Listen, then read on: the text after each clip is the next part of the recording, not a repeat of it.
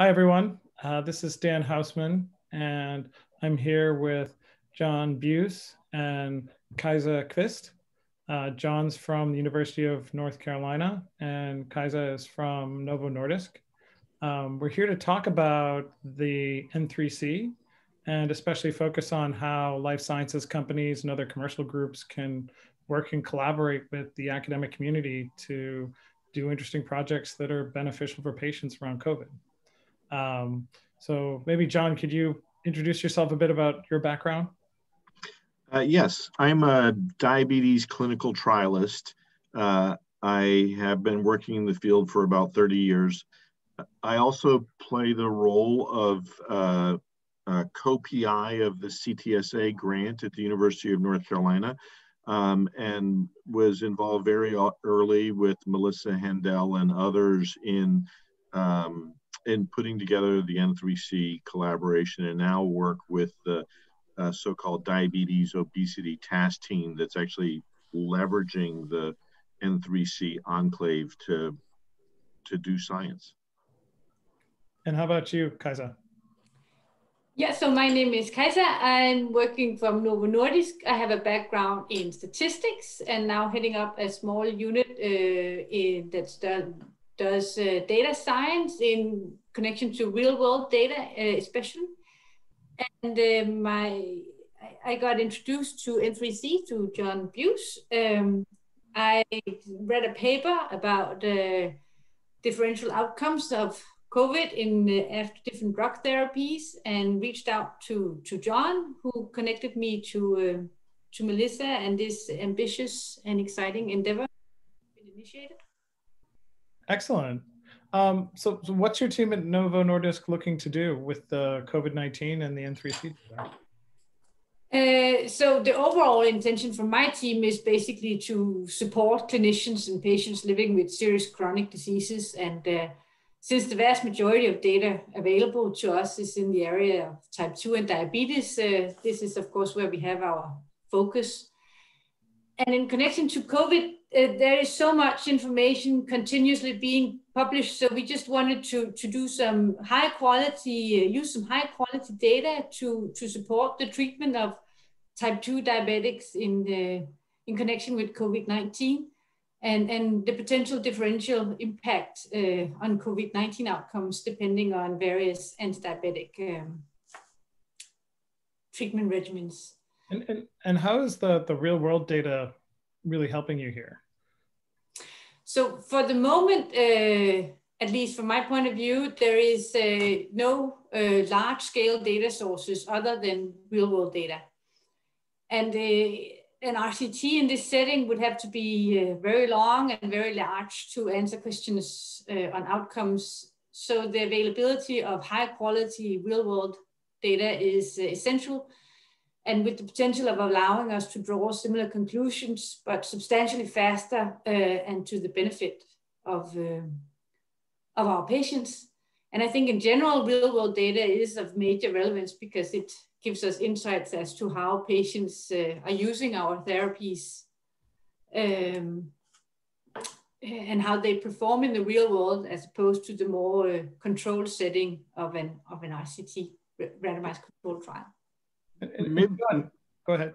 Yeah, maybe I could just jump in a second. I mean, I think as a clinician, um, the problem has been that most of the publications that address the important clinical questions that we could do something about today, namely, I, as a doctor, when I see my patients uh, later this afternoon, um, are there things that I would know from the literature that I could say, look, if we do this today, if you do get COVID 19, I would hope that you would have a better outcome for having done this today?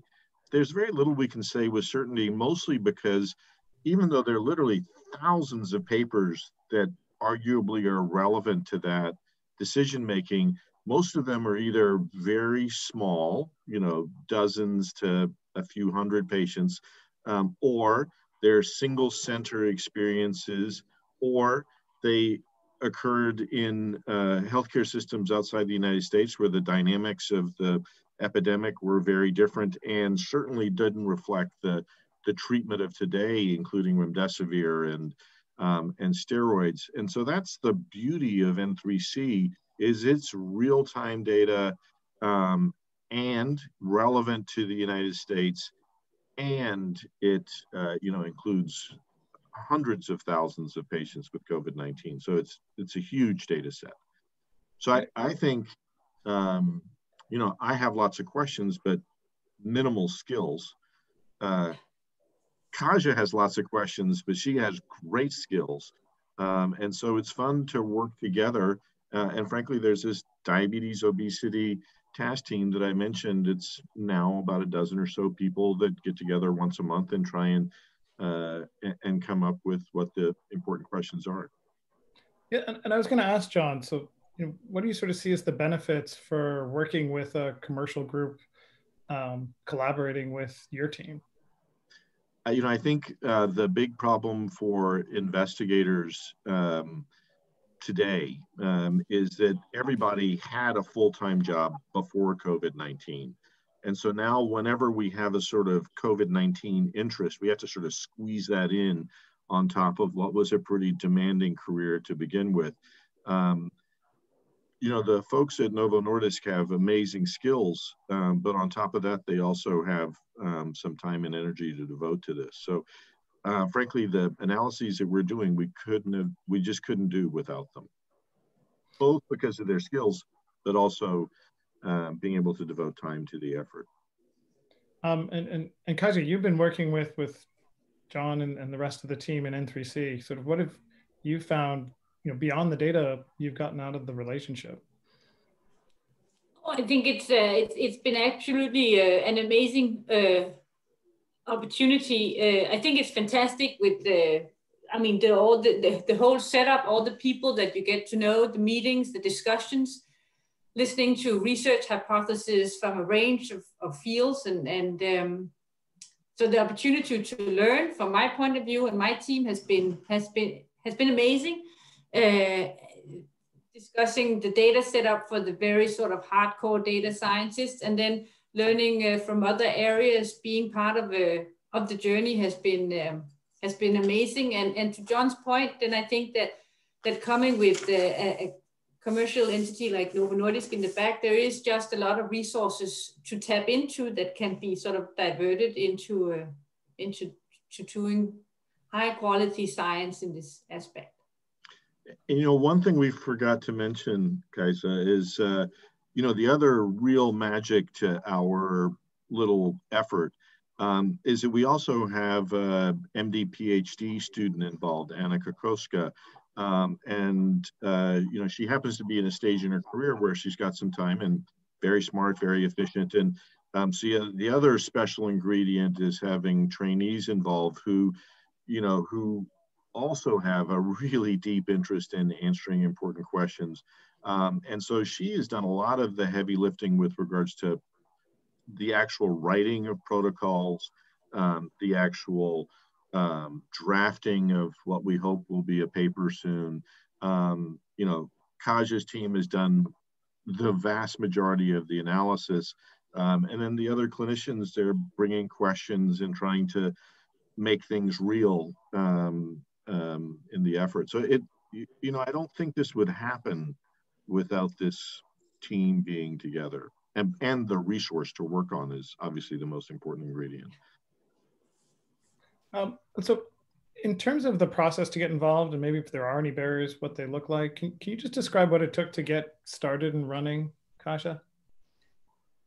Um, so as, as, as I initiated, then uh, John uh, informed me about this ambitious, uh, exciting endeavor that has been, that is the N3C. And then I, I mean, as as COVID in, in the spring was was was and is new to us, so was N3C. So of course there were, I mean, there's some initial, you know, hiccups figuring out who to talk to and how to do. But otherwise, I think it's been it, it's amazing the way the speed with which data comes in, the cleaning, the people amount of people you can talk to and get advice from, and and the sharing of, uh, of, of where you are in the different task force task teams. Um, so I think it's been it's amazing to be part of. It, it really is sharing best practices and, and learning from each other. Um, and from our point, we haven't had any any issues or technical challenges getting started. I mean, the the short answer, you know, particularly for somebody from the pharmaceutical industry that wants to get involved, it's about making a data use request. Um, you can do that online. It's, uh, you know, there there's nothing that difficult um, about it. Um, if you want to do it in the context of one of the task teams, there are now about I don't know, 15 or so task teams that are focused in diff different areas. Ours is diabetes and obesity, but they have some that are on chronic kidney disease, heart disease, social determinants of health, pharmacoepidemiology. I mean, there's a bunch. Um, the clinicians are looking for people to, to help answer the questions. Um, there are more clinicians involved and fewer people that are actually, you know, have skills with regards to, um, you know, developing the code and doing the analyses.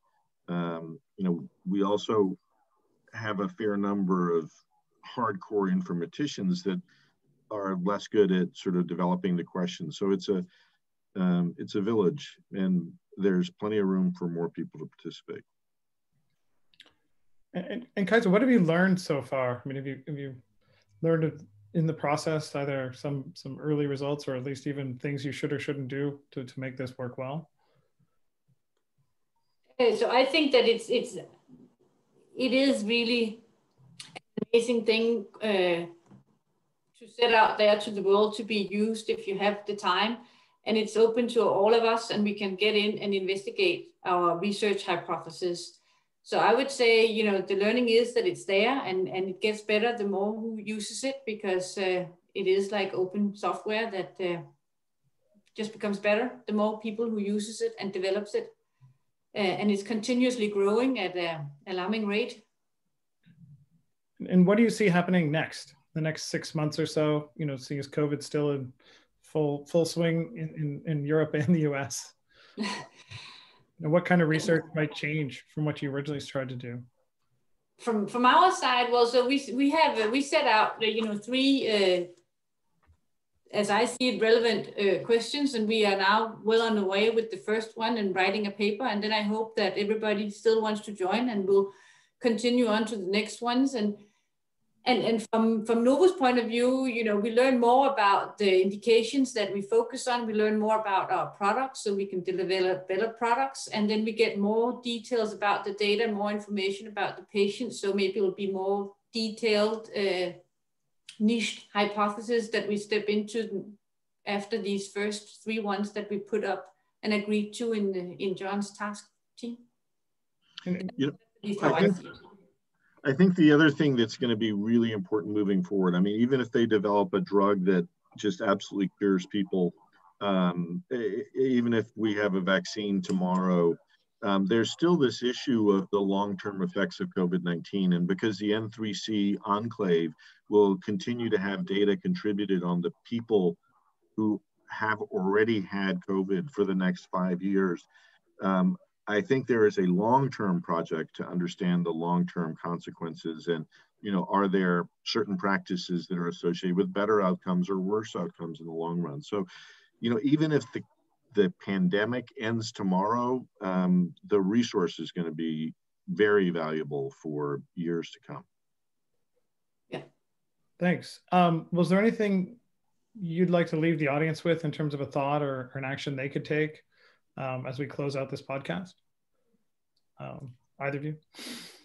Well, I think that, it, as repeat again, I think that the N3C is there and it gets better the more who uses it. And it really is an, an amazing uh, resource to tap into uh, for all the reasons that John just mentioned. And it's not too late to get involved. I mean, the I think we have learned a lot in working with it over the last three months. And um, you know, and what I would say is, you know, it, it has been challenging. It um, isn't as easy as I hoped, but the truth of the matter is, it would be easier to get involved today than it was three months ago. And two months from now, it still won't be too late. Um, and it'll just be easier still. And six months from now, um, you know, my guess is there'll be many, many, many, many publications. And then the only challenging thing is, you know, how to think about how to think of something that isn't already being done, you know, once we have hundreds and thousands of people who are involved in the process. Um, so I, I think this is a great time to get involved. Great. And there is so, I mean, the now there's more than a million patients in there with, you know, high quality and, and detailed data. So the number of research hypotheses, even if the pandemic went tomorrow, away tomorrow, is it's a good resource. And it's free. Free. It's great. I think I think I, I echo all of your thoughts that you know come along at least give it a try if you're in a commercial organization. Um, and then even if you're a citizen scientist you should come along and, and figure out ways to make this data useful. Um, there is a working group. Uh, Kajsa and I are both on it in terms of commercial groups that are interested. So you can also join that if you're not sure where to go first. Um, and you'll see it on the website. But please um, come along if you're listening to this podcast and and you know start getting involved. But uh, john and, and kajsa thank you so much for for joining me today. And I, I look forward to reading your research as it comes out. Thank you. Thank you. Welcome